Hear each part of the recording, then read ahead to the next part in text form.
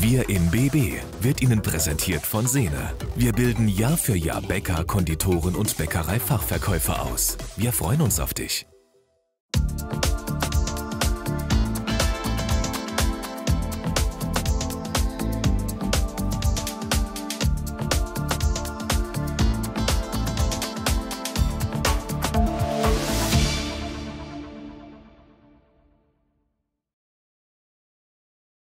Hallo und herzlich willkommen zu einer neuen Ausgabe von Wir in BB und ich sage Ihnen jetzt schon eins, diese Sendung wird ganz schön abgehoben. Wir sind hier in Herrenberg vor dem Schickhardt-Gymnasium und wenn wir hier aufs Dach schauen, da ist eine Antenne. Und die haben sie aufgebaut, nicht um irgendwelche Aliens anzufunken, nein, es geht nur 350 Kilometer nach oben. Wir treffen heute Alexander Gerst, naja, zumindest mal seine Stimme.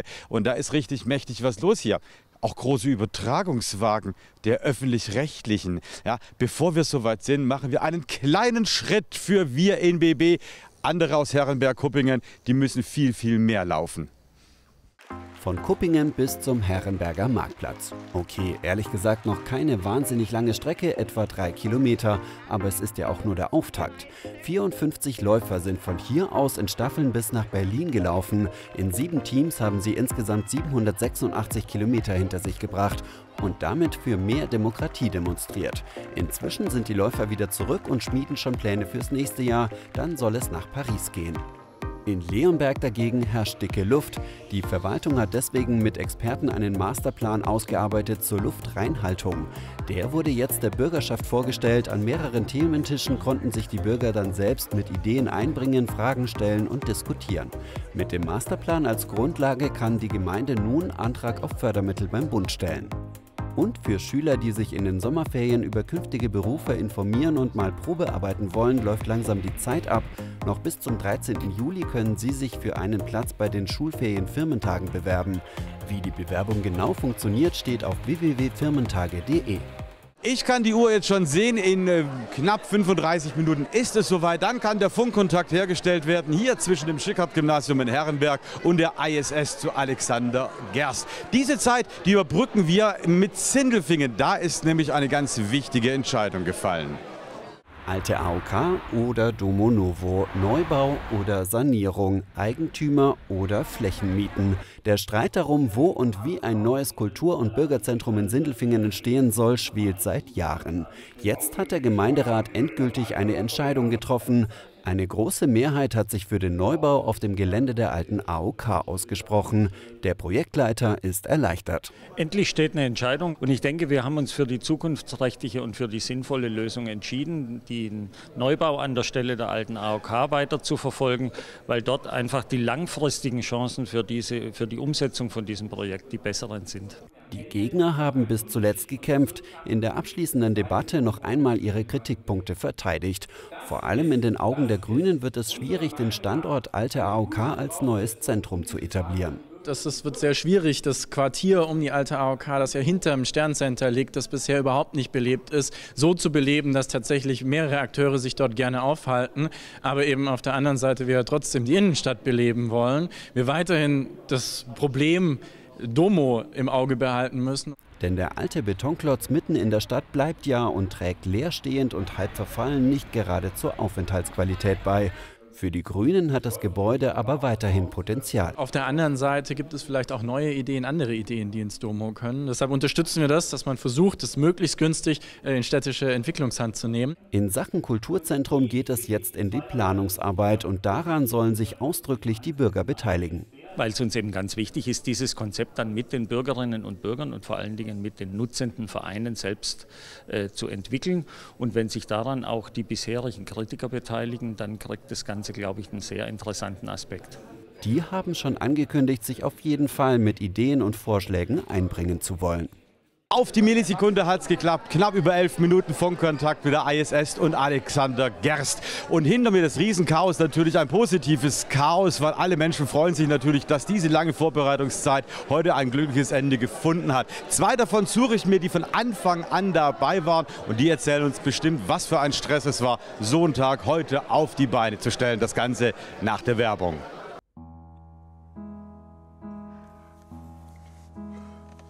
Wasser bis zum Hals. Wir brauchen auf jeden Fall Hilfe.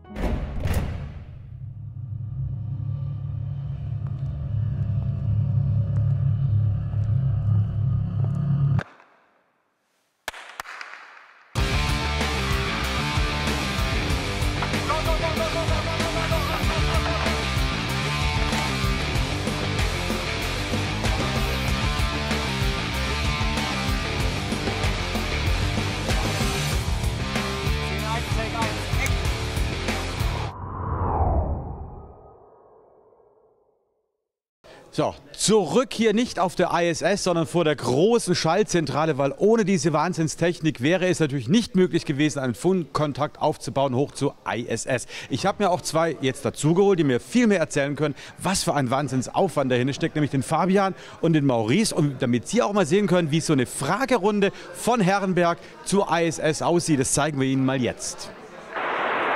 Finden Sie die Idee, Mond und Mars in naher Zukunft zu besiedeln, realistisch? Over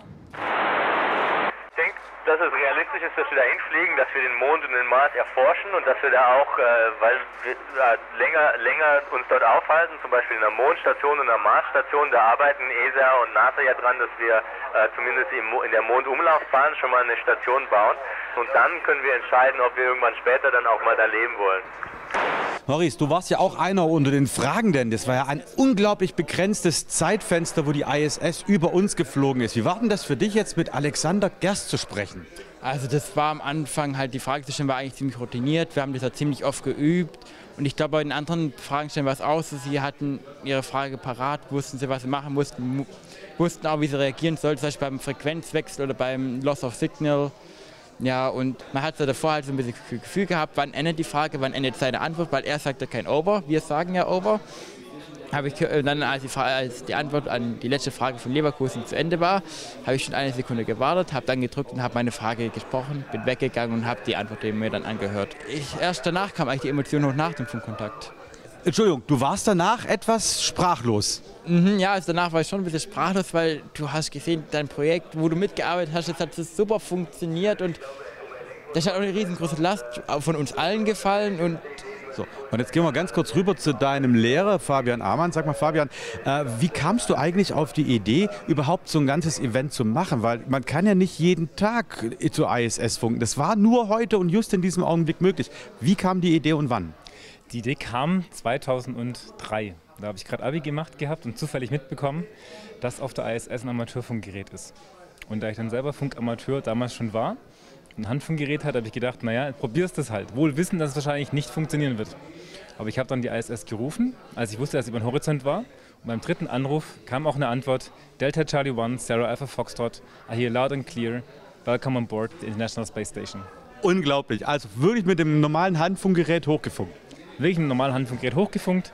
Natürlich viel rauschiger als heute, aber es hat grundsätzlich funktioniert und es hat mir so eine Gänsehaut gegeben, dass ich gesagt habe, okay, also falls ich mal je Lehrer werden sollte, falls es sein sollte, dann mache ich eine AG. Und 15 Jahre später bin ich wohl Lehrer geworden und habe ein AG ins Leben gerufen. Und wie ist es jetzt bei dir, Maurice? Jetzt bist du hier Schüler am Schickhardt-Gymnasium. Was, was fasziniert dich an dem Thema Raumfahrt oder bist du einfach in Physik so ein Käpsele? Äh, ja, in Physik bin ich auch ein Käpsel manchmal. ähm, nee, also eigentlich hat es bei mir mit der Luftfahrt begonnen. Also mein Vater hat mich, als ich noch klein war, da war ich noch im Kinderwagen, sind wir ähm, zum Stuttgarter Flughafen gefahren. Er hat mir die Flugzeuge dort gezeigt, da habe ich mich halt auch für Luftfahrt interessiert, dann auch mal eine Kurzzeit für Schiffe, aber dann wieder für Luftfahrt. Dann äh, Raumfahrt und das ist jetzt auch so weit gekommen, ich, ich mache zurzeit Segelflugschein auf dem Wächtersberg. Dann und dann habe ich AG gesehen, der Herr hat gerade das Schild hingehängt, ISS AG, Funkkontakt. Ich dachte so, wow, ich muss da einfach mitmachen. So, und wie viel Arbeit tatsächlich dahinter gesteckt hat, das sprechen wir auch gleich mit dir, aber vorher gibt es die Veranstaltungstipps. Deutschland ist die WM vielleicht vorbei, für Panini-Bildsammler aber noch lange nicht. Am 13. Juli treffen sie sich im Jugendtreff Dagersheim zur großen Tauschbörse. Da findet dann sicher jeder noch die fehlenden Bildchen für den Endspurt der Weltmeisterschaft. In Leonberg bringt Martha Schwemmle die Perle unter den schwäbischen Putzfrauen wieder das komplette Bauernhausmuseum zum Lachen. Sie erzählt von ihrer Freundschaft mit Lisbeth aus England, warum Englisch und Schwäbisch eigentlich das gleiche ist und überhaupt über sämtliche Abgründe des Lebens und das natürlich auf breitestem Schwäbisch. Und in Herrenberg feiert Viva Voce seinen 20. Geburtstag. Es lebe die Stimme heißen die fünf Sänger auf Deutsch übersetzt und gerade das leben sie auch. Für ihren Jubiläumsauftritt bei den Sommerfarben brauchen sie wie immer keine Band und kein Orchester, sondern machen alles selbst, nur mit ihren Stimmen eben. Mehr Infos gibt's auf der Homepage der VHS. Und hier im Schickert-Gymnasium hier in Herrenberg, da war ganzer Tag Programm. Äh, das hat natürlich wann begonnen und vor allen Dingen, wie viele Schüler und Schülerinnen hast du denn begeistern können, sowohl vom Funken als auch äh, von der Raumfahrt? Also wir waren zwölf Schülerinnen und Schüler in der AG und davon konnten zehn eine Frage stellen. Zehn Slots gab es für Fragen und der Rest dann noch mit Technik beschäftigt. Aber das hat ja nicht erst gestern oder vorgestern angefangen. Wann hat es bei euch begonnen? Wann habt ihr loslegen müssen, damit das Ganze auch heute so funktioniert? Also wir hatten jetzt ein Jahr Vorlauf, die AG ist jetzt ein Jahr alt und haben uns jede Woche getroffen und anschließend immer mehr und mehr und mehr. In den letzten zwei, drei Wochen war es wirklich tagtäglich, dass wir uns getroffen haben, geübt haben für den Funkkontakt, den Tag vorbereitet haben bis spät in die Nacht. Und es war alles freiwillig und die Jungs und Mädels waren super mit dabei. Kurze Nächte, viel Leidenschaft und tolle. Was ist die Schwierigkeit von Herrenberg aus, die ISS zu erreichen? Du musst gucken, wo fliegt die ISS genau drüber. Du musst die Antennen genau einstellen, dass die nachgefahren werden mit der ISS. Und dann hast du ein 10 Minuten Zeitfenster, wo alles passen muss. Frequenzen müssen genau passen, müssen nachreguliert werden, weil die ISS wegfliegt von uns oder zufliegt auf uns. Und mit der ganzen Kombination, da dort kleine Detailschrauben, die du einstellen musst, um die Genauigkeit zu haben, dass es funktioniert. Es durften ja zehn Fragen gestellt werden. Insgesamt waren es 20. Es war noch ein anderes äh, Gymnasium. In Leverkusen war ja dabei.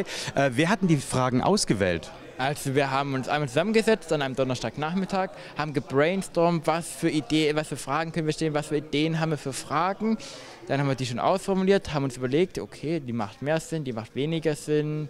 Dann haben wir uns einfach halt zugeteilt, ja, da haben wir einfach abgestimmt, welche Frage nehmen wir und welche nicht. Hast du dann die Frage stellen dürfen, die du auch gerne gestellt hättest? Ja, das war's. Ihr war die Ersten, die als Schule mit dem Alexander Gerst im, äh, auf der ISS gesprochen haben. Und da sage ich mal, herzlichen Glückwunsch da dafür. Und ich würde einfach sagen, wir sehen uns nächste Woche wieder. Und wenn dann alles gut geht, melk ich da eine Ziege.